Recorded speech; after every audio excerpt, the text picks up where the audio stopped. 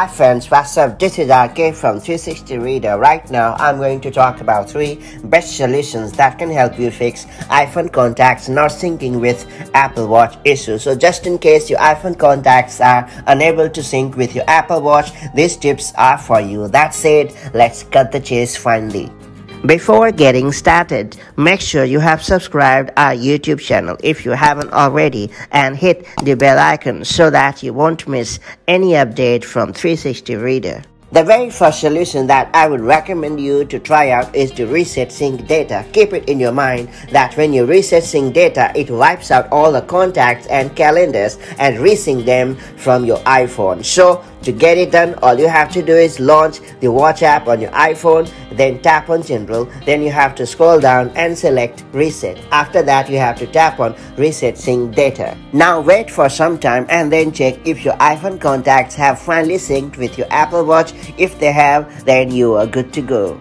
If the first solution has not been able to fix the iPhone contacts not syncing with Apple Watch issue, then it's time to go for software update. More often than not, Apple releases software updates to fix plenty of issues and even enhance performance. That's why it's always recommended to keep the Apple Watch off for that matter any device updated to the latest version. To update your Apple Watch, all you have to do is launch Settings app on your Apple Watch, then tap on General, then you have to tap on Software Update, and then download and install the latest version of WatchOS on your Apple Watch.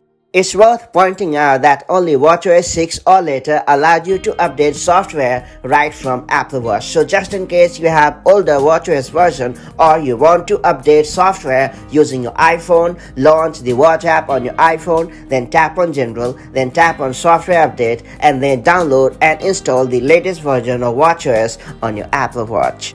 If your iPhone contacts are still not syncing with your Apple Watch, then it's time to go for the nuclear solution. And with nuclear solution, I mean erasing all the content and settings from your Apple Watch and then pairing it with your iPhone again.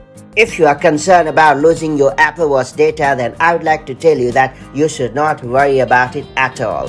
When you erase your Apple Watch or when you unpair it from your iPhone, WatchOS automatically backs up your Apple Watch and allows you to restore your data at the time of pairing your Apple Watch with your iPhone. That said, launch the Watch app on your iPhone, then tap on General, then scroll down and tap on Reset. Now tap on Erase Apple Watch content and settings and then confirm. You can also erase data right from your Apple Watch. To get it done, launch Settings app on your Apple Watch, then tap on General, then you have to scroll down and tap on Reset, then you have to tap on Erase content and settings and confirm. That's all there is to it. Hopefully your iPhone contacts have finally synced with your Apple Watch. If they have, then let me know the solution that has worked for you. And I'll see you in the next video with more such helpful tips and tricks. Till then, have a great time. Bye-bye.